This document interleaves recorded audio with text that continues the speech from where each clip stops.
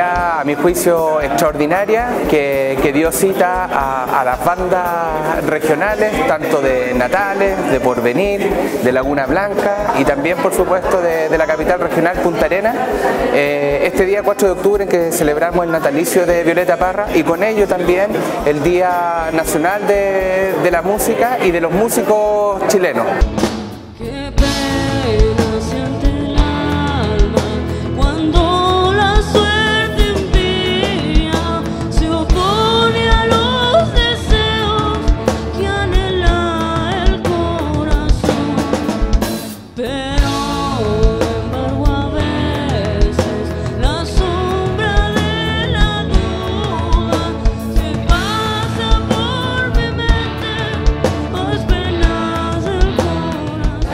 También sirvió como para difundir un poco la música regional, porque como que aquí uno está un poco aislado de, Chile completo.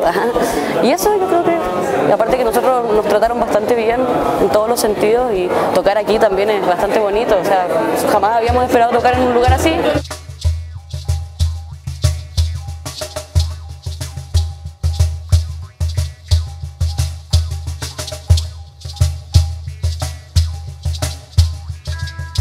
Mira, muy interesante, muy bonito, muy emotivo también, pues que Violeta nos dejó un gran legado, que es a toda la gente joven, tú ves que harta gente joven, nosotros ya pertenecemos a los adultos, ya pasamos los 50 hace rato, y este muy hermoso, muy bonito, porque es una unión de todos, los chicos, la gente más grande, el público, los papás, que vienen a ver cómo los chicos representan su música en estos tiempos, cómo la hacen, y el valor que ellos también le dan a, poder hacer música. Creo que fue una, muestra eh, muy importante de un abanico de, repertorio musical de diversos estilos musicales que interpretando temas propios y además eligiendo y adaptando un tema de Violeta Parra eh, deleitaron al público que asistió esta tarde al Teatro Municipal José Bor de Punta Arenas. Muchas bandas magallánicas que en el fondo eh, muchas veces pasan como desconocidas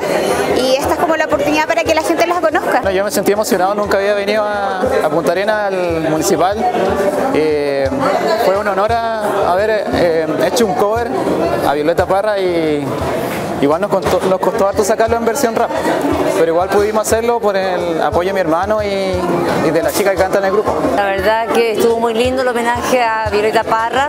y me gustó que en la región se preocuparan, ¿cierto?, de que el arte es algo que debemos cultivar todos y si a lo mejor no nacimos con algún talento, al menos podemos venir aquí a escuchar y a participar de este evento que más encima es gratis, o sea, ¿qué más podemos pedirle? Y que ojalá que lo sigan haciendo para que nosotros que nos gusta el arte, nos gusta la música, podamos disfrutar.